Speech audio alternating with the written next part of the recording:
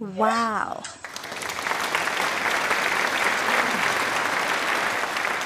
Ano yan?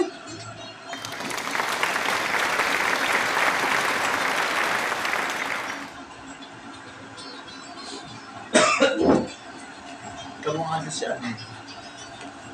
Yung kalahati, bila-bila.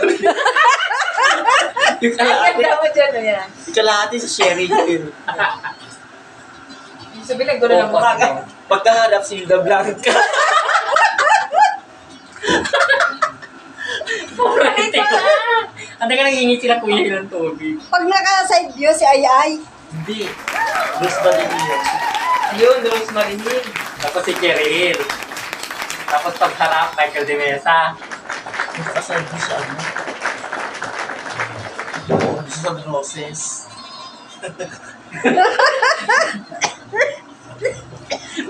Ko, puro sigok.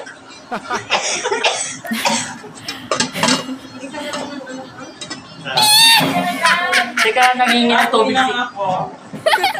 Ay, pag-isa naman ito. Kaya na, bibili ko na kami. Oh, di ba sabi ko sa inyo, dapat mati...